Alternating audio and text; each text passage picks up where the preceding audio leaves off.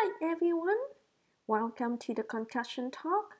Today we are going to spend some time to talk about the referring process, particularly in the acute stage.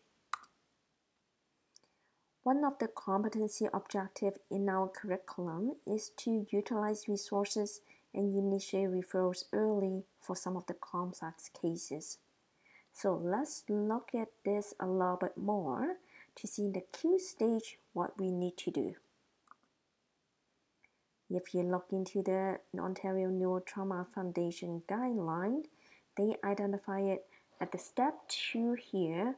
We actually need to find out any emergency conditions that require an early referral to emergency departments. Now, do you guys know what they are? Can you name some of them?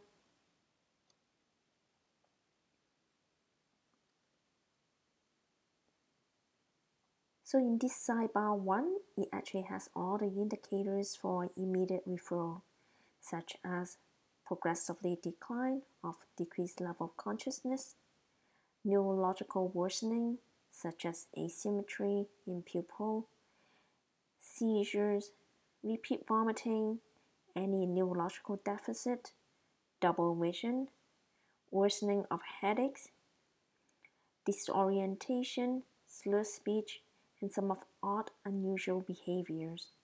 This list basically telling you potentially your patients could have seizures, strokes, encephalitis, any kind of psychosis that requiring urgent management, something serious that you need to rule.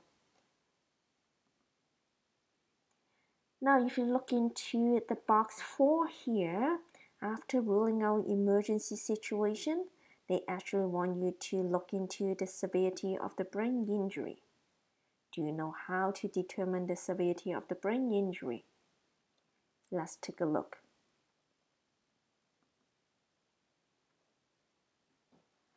Now in this table, it has all the diagnostic criteria for you to differentiate mild traumatic brain injury concussion from moderate and severe brain injury.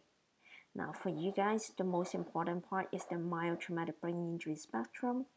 More looking into loss of consciousness for less than 30 minutes, something called post-traumatic amnesia, less than 24 hours, auto level of consciousness, such as days of confusion, up to 24 hours, and GCS 13 and above. Thank you very much. And please go back to the Family Medicine Concussion Study Guide and you will have more information about the algorithm that we went through. See you at the next session.